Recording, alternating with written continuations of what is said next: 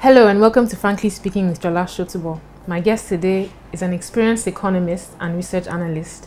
He was part of the team that organized the 2014 Nigerian Economic Summit and currently works with Nigerian Economic Summit Group. Welcome, Chuba Ezekwesili. Thank you. Thank you, Jola. So, going straight to the point, what's going on with the Naira? I mean, it's like 400 Naira to the dollar now, or thereabout. well, it depends on which rate you're looking at, right? Okay. no, So I'm, not, I'm not talking about the bank so- so no. so let- so I'm talking start. about how we buy it. so let's start there because what the statement you just made, how we buy it, is very Mm-hmm. fascinating because it then tells you a lot as to the arguments between you know uh, the pro the um, those who support devaluation and those who are against it. You know, so the idea behind this is that um, people say if we devalue, right, um, the naira is going to lose its value. But clearly, right, if you're going to the market, okay, I'm just going to give an example because I think it All work- right. anecdotes work uh, for, for individuals, for people to understand. So I go to the market, right, Balogun market, and I'm buying uh, the same thing I bought a month ago. But they're telling me, oh no, the prices have increased because of dollar. You know, prices. We're, we're buying, we're buying. No, the, and they actually had the rates there. Like these guys are keeping track of rates. you know, we're buying at three. This was when it was about three hundred and something. You know, we're buying at this amount. I'm like, oh, that's fascinating. All right, you know, like makes sense that of course Balogun market, which is prob- mostly larger than informal market, right, will be buying at that price. But what was now fascinating is as I was at the market, right, I got um, uh, an, an alert from my bank, a debit alert. I just bought something off the internet, right? Uh, it was a school application thing.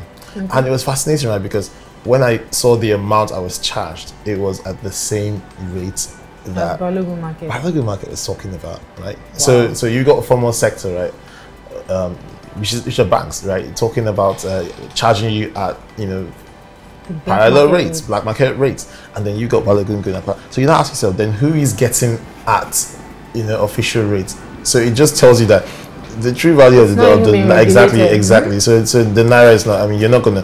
Very few people, maybe Dangote, Yeah, they, they going to get going exactly, to exactly. which doesn't It's make going any to sense. get. he can afford to buy at black market rates. I mean, Yeah, yes. he should be buying at black market. Yes, but uh, apparently Dangote is the savior of Nigeria. So what can we do?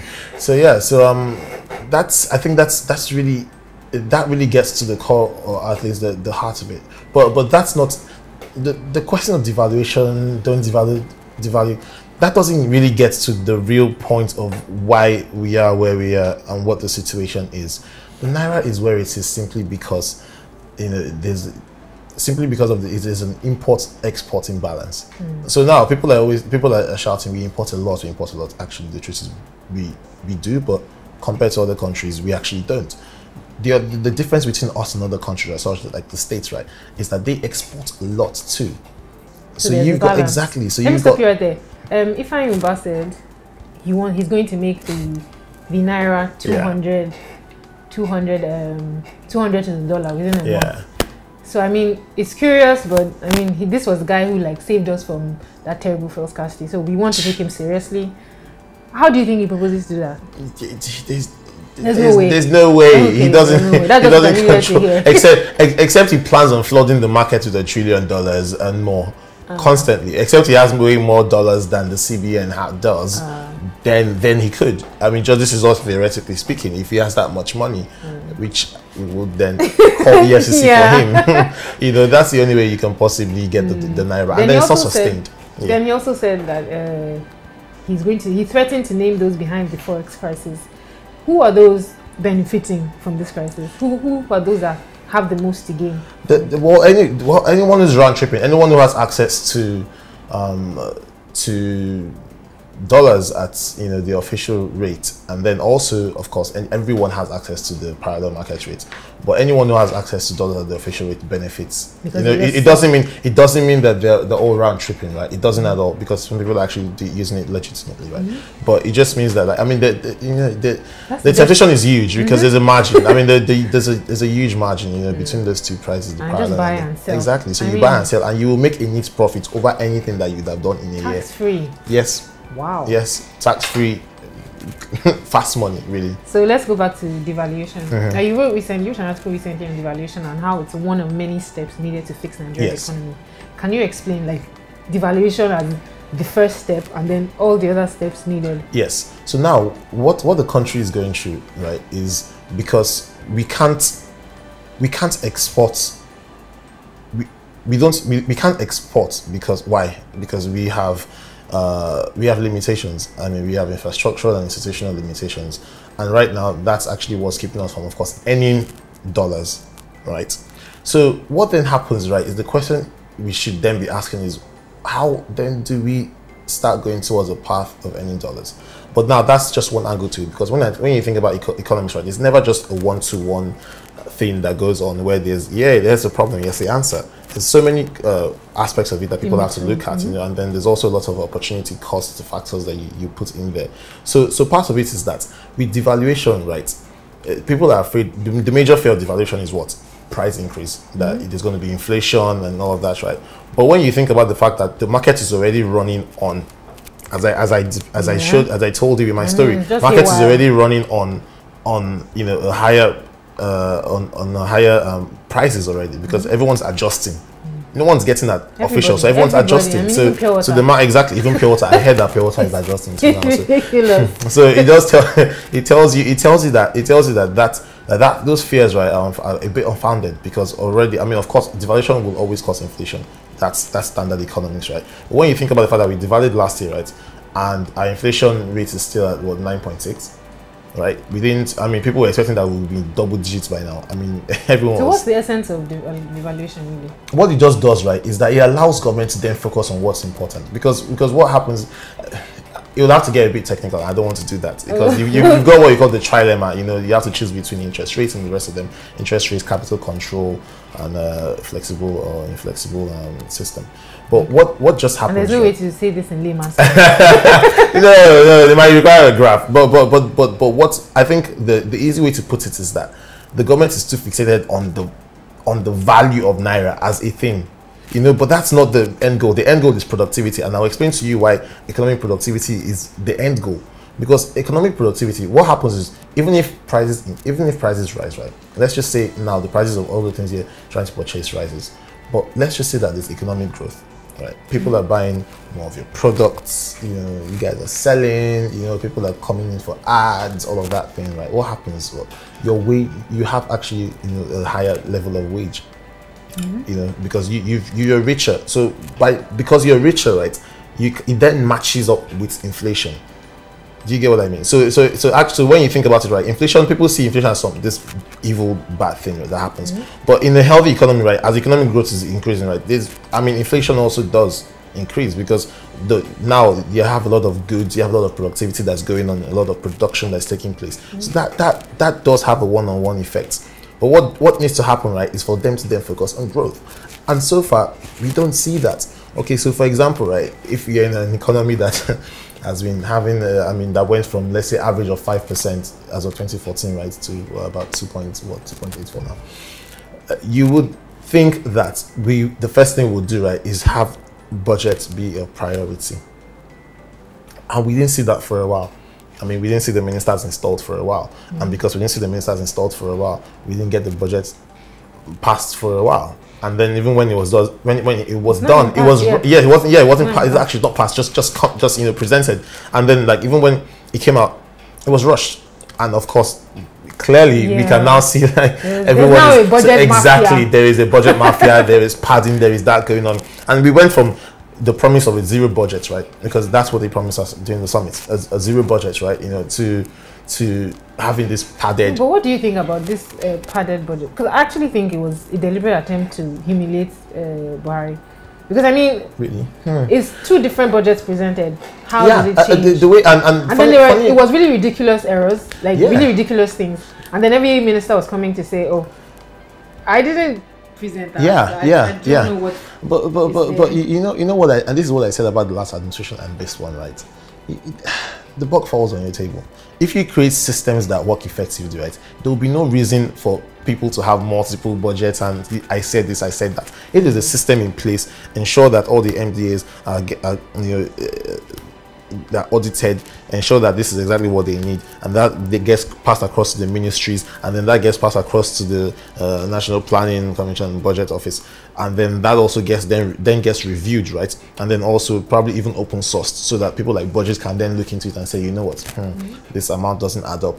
That's a duplication here, this and that, right? And then before that then gets pushed off, mm-hmm. right? And then all of a sudden you have a more concerted effort at yeah you know, at the budget, you know, that comes out right, and that people don't say, "Oh no, I didn't add that part." Mm-hmm. But once, once you know, once you see that, you didn't have to ask yourself. That then tells the level of incompetency that goes yeah, on within the mean, system. There's no, you're not, there's no unity. Exactly. There's there's no unity. Everybody's just everybody, you know, and, and that is the story. Everybody is scattered because what you we don't have that one plan that one goal right? And then because you don't have that one strong team right that can ensure that you know everyone understands that that's what's mm-hmm. going on. And so so what you end up having is a bunch of people who have their own self-interest. Mm. speaking of uh, president buhari what do you think about his um, economic policies if he even has any? And i mean what policies do you think he should adopt to help nigeria's economy? Because right now it looks like nothing is happening because he's not saying anything. But i mean what do you think do you think he's doing things right? And what do you think he can improve upon to actually help the economy? I mean, I wouldn't say he doesn't have an economic policy. I, would say that. I'd say, and I wouldn't say that he's not saying yeah, in, enough. He, he, he, he does say a lot of things just just outside of Nigeria, you know. And, and this, I keep coming back to systems. I wrote an article on this on systems, right? Buhari and traffic lights with systems. If you don't create those systems in place, they don't function effectively. And Buhari is, is sort of running on a one man, you know, crew. And okay, you've got uh, Ministry of Finance, you've got uh, you've got uh, Ministry of uh, Trade and Investment. You've got all, you've got all of those right, and you've got I think fairly competent individuals that are heading this right. But when you don't have that synchronicity right between these ministries and between the president there's an issue. And then second of all is also that you, you notice in a lot of his statements is he has this stance. You know it's a bit uh, is a, is a bit of a is a, is a pro is a pro people person right? But the, the, the problem with that is you can't focus on idealism right? Idealism does not it's not how uh, it's not how uh, an economy is run.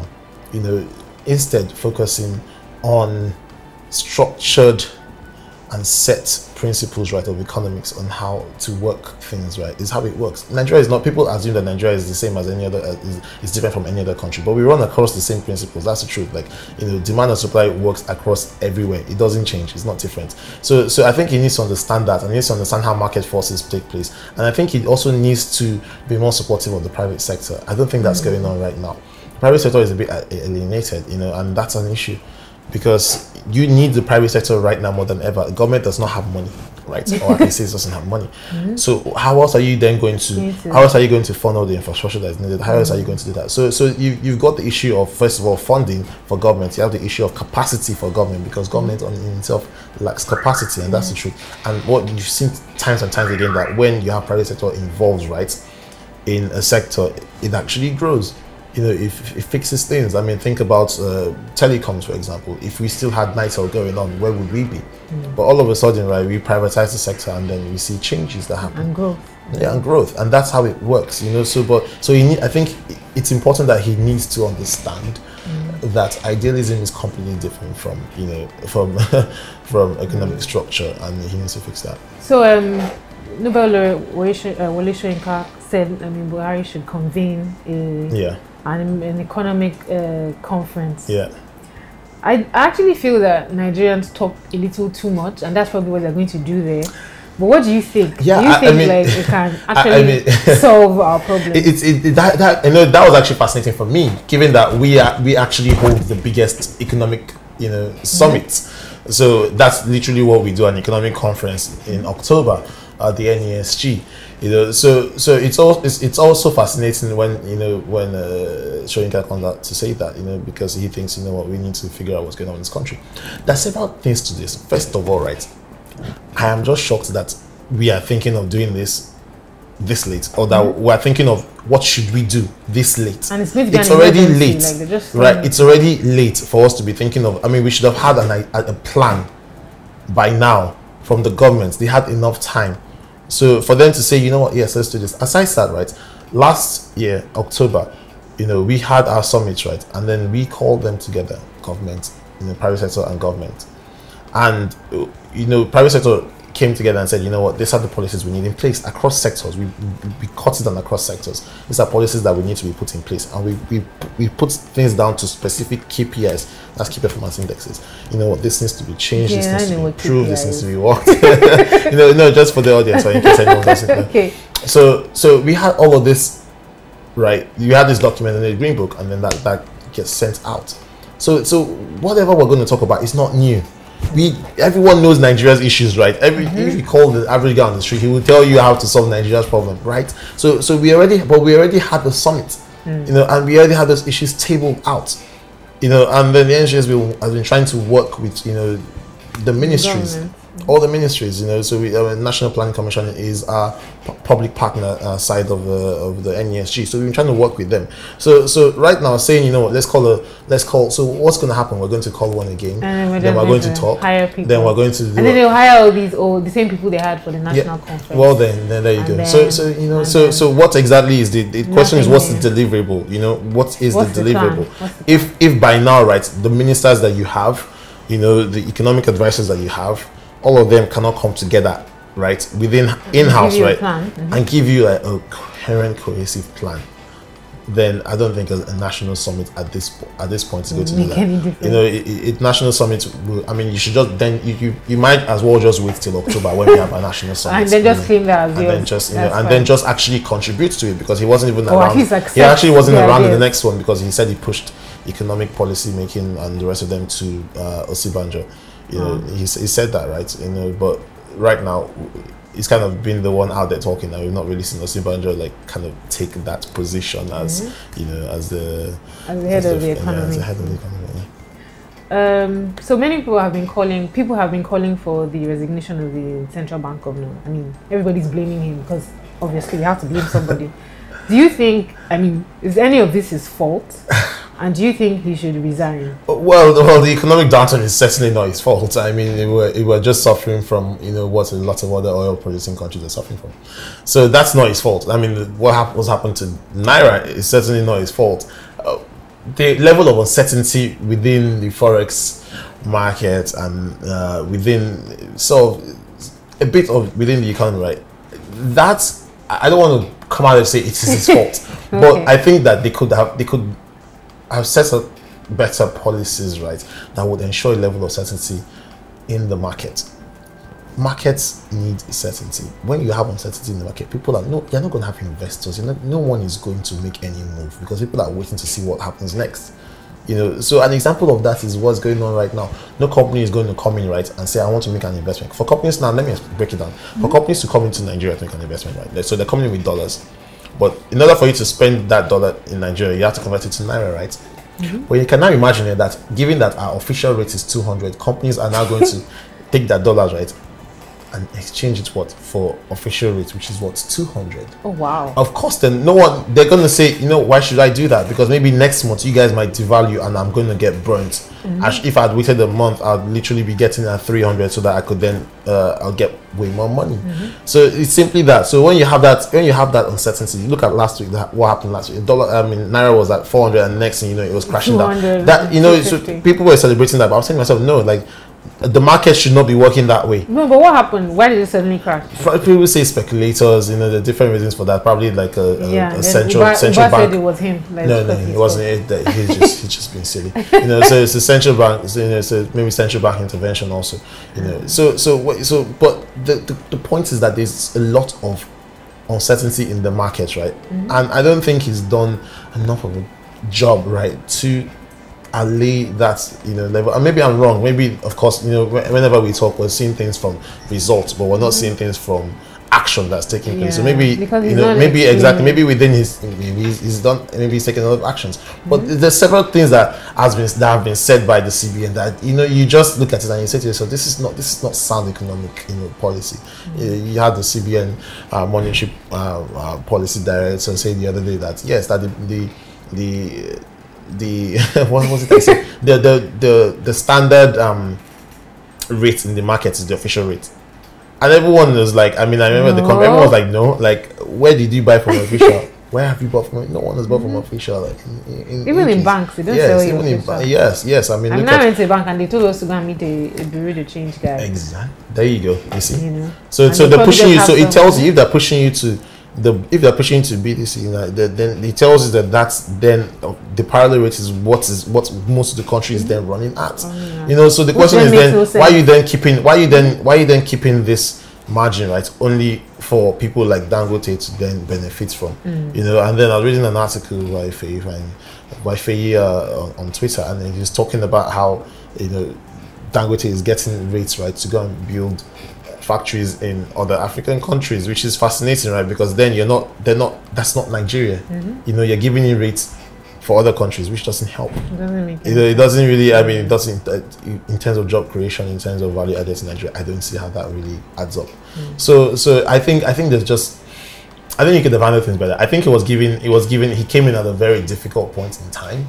But I think, you know, i i it's fascinating how his opinions have changed over time. This is not me accusing him of of, uh, of, uh, of being of being influenced of, of being influenced by Buhari. This is not me because Buhari came out several times and he has said, "I will not devalue." First of all, it's not even his mandate to do that. He's he's not in charge of monetary policy. You know, government, of course, uh, CBN is supposed to be uh, independent from government. No, that's not true. Yeah. Of course, that's that's not realistic. That's not true. But it should have that semblance of being, you know, separate. So it's fascinating, right? That the same individual, right, um, uh, that devalued. When was that? Uh, is it 2014? No, it was last year. Last year, right? Yeah, exactly. last 2015 the same the same individual who devalued and who gave reasons for devaluing as you know what there's a lot of pressure on you know on the naira so we have to devalue in order for us to you know in order for us to hold on to whatever ex- uh, reserves that we have left and all of a sudden right fast forward a few months afterwards it's a completely different story. We can't mm. devalue because we are this because we are that. And, you know and so it's fascinating right? How can you have you you took one action earlier in the year and then later mm-hmm. on is Now this. And then the, the only thing that's changed right is who was leading. So now Oh. new person is in Buhari is in. You follow the mandate of the leader. So I, I guess that's mm-hmm. where we are right now. Okay, so I mean, the ultimate Nigerian dream. will somehow now everybody's talking about, and they said Buhari promised that um, during the election campaigns that the naira will be one naira to the dollar. I don't think he said that Now, no, they said he said they it. said he said that yeah, it was that he said it. I mean, the- there was a whole, uh, there was a whole media yeah outrage thing Yeah. on it. So, can that ever happen? And how it happen? Can it ever? I don't I, I don't know okay let, let- well theoretically it's possible right Okay, if what happens? theoretically possible if the value of the dollar falls against the value of the naira Okay. So basically, if Not we let, let, let's just say we start, let's just say we start uh, exporting so much to the to the states and other countries, right? And all of a sudden, our naira is in so much demand. You know, people just people can't get enough of people can't get enough of our money because they have to get our money to buy our goods. You know, it's all of a sudden, right? People are giving us dollars. All of a sudden, our money rises back up to the dollar. But but, but I think the bigger question is for, to, for people to ask is why is that so Such like why is it you know why why is it so why are people caught up on this one you know to one ratio to the, the naira to the dollar? because will be cheap. I mean, I'd buy a twenty it, would it be? because no no because what that then what that then tells us is that we're not serious about them producing our own things. If we're Ah, only we're waiting for thi- if we're, exactly if Oh. we're waiting for things to be cheap in the sense that we're still Ah, going to buy from outside then we're not focused then then you know then we're not Ah, really into the buy Nigeria as we claim to be. Mm. if we really were right we'll be looking for things because right now if we actually devalue this is this is the standard this is standard economics. If we actually devalue right exports would be cheaper. Because now your naira is so much cheaper so people can now buy more of your goods because your goods have become cheaper right? If we devalue that would that's actually what would then help exports you know? But the reason why we're so bent on this right is because we say we we actually don't export.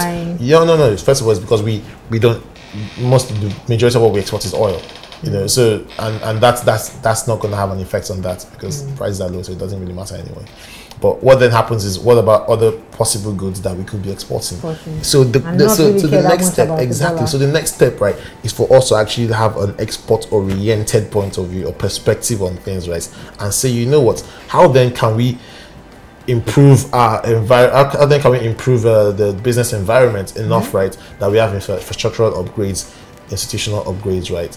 And then we are certain that we've reduced cost of uh, inputs, right, and cost of operations, and cost of doing business, right? So that enough that people can then produce right? Produce for the international market. Because when you produce for the international market you have to meet up to a certain standard in order for you to be competitive. And when that then happens right people are selling to outside they're selling to the outside market. What then happens? We're getting dollars. We don't have an issue anymore. So so if you're getting dollars right it doesn't matter that you're spending dollars. Do you get what i mean? Like Yeah. if it, it's it's simple it's that simple. Mm. You know if if we are get if we're getting dollars that we need spending spending dollars is not going to be a, a problem. Mm. You know Speaking of, because you the economy is running on its own. We buy Naija to that hashtag. Buy buy Naija yeah yeah i've gotten a lot of flack on that So one I mean, CNN even ran a story on it that oh, can the hashtag help the Niger? yeah yeah Al uh, i was on al jazeera also and that was very interesting So, that was I mean, what do you think? Can it have any impact? Can you- what? No, no, no, no. It, it, ca- it can't. It can't. It's it's a good. I mean, it's and this is what I said, right? It's it's not a bad, you know, uh, it's not a bad. What do you want to call it? Movement, right? In the sense that if it was aimed at what I call inf- uh, curing information asymmetry. So information asymmetry is people don't really know uh, buy, between buyer and seller. They, they, they're not aware of what the prices are and what the quality of goods are. So now, if that if it simply was, you know what? Now let's publicize Nigerian goods. Before, if I was going to buy uh, something uh, shoes from America, right? And then you told me, "Oh, no, but there's this Nigerian one that is, you know, equally as good. It's going to last the same way and it's probably around the same price. You should probably check it out. Oh wow, I don't know about that. Let me buy that now. You know what? So I've just supported someone within the Nigerian economy, mm-hmm. which of course is good because now that person has more disposable income in their hands and then can mm-hmm. spend it, and that's what grows an economy, right? So so that's how that's that's where they they're coming from with it right which of course i agree with like yes you know if we had if we had um better awareness of other goods of nigerian goods right that were mm. good that are quality that's a good thing. Mm. But for you to say that that's what's going to grow the naira right it's unrealistic. It's unrealistic because we don't we're not able we don't have the ability to scale that. Mm. Because and second of all right which i pointed out because it it leads to interestingly you know in nigeria you have to always start from expecting the worst because that's you know because it's true that it sounds pessimistic but that's the think about almost anything that has happened any policy that's taking place any action that we've done we came in Buhari came in right and we came in thinking the best oh my god things are going to change we're going to have this this, this. I mean it was going to be on fire and for months he was just doing nothing No, it's still on fire now. for months it was, it was just doing nothing. I mean, it's traveling everywhere, but for months it was just doing nothing. You know, then you had, you know, budget. Oh wow, we're going to have a zero budget, everything, and then look at what came out. So you, you do see the mm-hmm. difference between expectations and reality. They're different. So it's in the same instance with this buy Nigeria thing. There's a difference between expectations, right, and reality will be very different because what what, hap- what happens, right, and what we've pointed out, right, is that people then use that as a way to engage in you know, monop- in monopolistic tendencies. What happens is tomorrow someone will say, ah, don't fly any other this thing. Fly only Arik. Oh, no. Buy Naija. Right. I'm not but buying do you, Arik. exactly. Do you know what then, then the question is what then happens, right? You're limiting choices, right? And then giving it to one uh, probably Person. just one person who has no incentive now to actually innovate Or or, be competitive com- or in invest because exactly you know so he's putting in his pocket. yeah, so so they they're simply just going to, uh, you know, think don't think you know that and that's what the one thing I heard from meeting I was in. You know, the Americans created their laws right to think about the worst things people could do right and then work from there. We think about people being good and then work from there, which is which Because is not Americans so smart. think the worst case scenario. Exactly. So you, so you go from no, which is the, it's really the best because you go from there, then you safeguard against those sort of things. Mm-hmm. So what then ends up happening right now is that I mean, think about. I don't want to call them out, but you know, think about the cement industry. Ask yourself why Nigeria has one of the most expensive cements in the world. no, ask yourself that question. Why do we have the most? I mean, cement in the world, and why does the largest producer of cement in Nigeria, right? I'm not going to call names, but why why do they have like almost a fifty percent margin on profit? I mean, across the world, right? Cement does not make that much margin. You know, maybe twelve percent, fifteen. Hmm. You know, but a 50 almost more than 50 percent and every single year upon year like revenues are rising so you have to now then ask yourself but yet you see so much of completed buildings everywhere why do you think that is too expensive. Exactly, it's expensive. So then ask yourself if people and then how many other cements do you know? Aside exactly. If I ask you to name two uh, I know ones. Portland cement, but it's, Mhm. it's fading out. Exactly. So, so, so, so you see what then ha- ends up happening is that that's the end result of this sort of policies. So one right? person just because people everything. exactly one person has everything. Tomorrow, right? Everyone is shouting, "Yes, innocent, innocent," and I'm happy for innocent. I'm glad that they're, they're doing, you know, that they're. I don't know if it's assembling or constructing cars in Nigeria, right? Which is good, you know. But what ends up happening is tomorrow, right? We'll say, you know what? Let's ban all other cars. Why are we even importing cars? Let's. Everyone should just No, buy that's not going to happen. everyone should just buy Innoson. exactly. First of all, aside the fact that like Senate, your Senate, your Senate uh, Yeah, just bought just bought like new Mercedes and new cars, so that's not gonna definitely gonna happen. But but it's a possible scenario where like people will then find ways right to m- make lawmakers right uh, push policies or laws that benefits their business at the expense of every other person, at the expense of competition. So so that that's all I'm saying, right? That let's not just look at the Focus rosy side of this. So so so my solution to that was my part two article, which said focus then on export, because once you change just your focus a bit to be more ambitious, you change the incentive that drives it. So all of a sudden, right, these people, these uh, industries that are supporting now actually have to be competitive if they are to you know, if they are to survive in the international market. International market does not care for your patriotism, doesn't care for any of this. thing. It mm. cares for quality and prices. The only reason why China is where it is now is because within a given level of quality, they can give you a good price. Mm. And it took them, you know, it took them, it took them a bit to get there. Mm. You know, they, they, the government had to invest in a lot of things to get there. It has to invest in infrastructure, it has to invest in uh, finances, all of those things for you to get there. So if you don't have those things in place, right, what ends up happening is that people will just say, you know what, ah, I'm selling to my fellow people. Why should I really? And they're going to buy anyways. There's nothing mm. for me to So do. why should I care about quality? Exactly. But once you're selling to people that care about quality, right, you keep that standard. And that actually, that's where economic growth takes place. And that also, of course, as coming back to our original topic in the Naira, mm. that of course then strengthens the Naira. Mm. It's that Thank you, simple. Thank you for watching today's episode of Frankly Speaking with Jola Sotubo. Join me again next time for another enlightening edition where I ask all the questions you want answers to. Until then, ciao.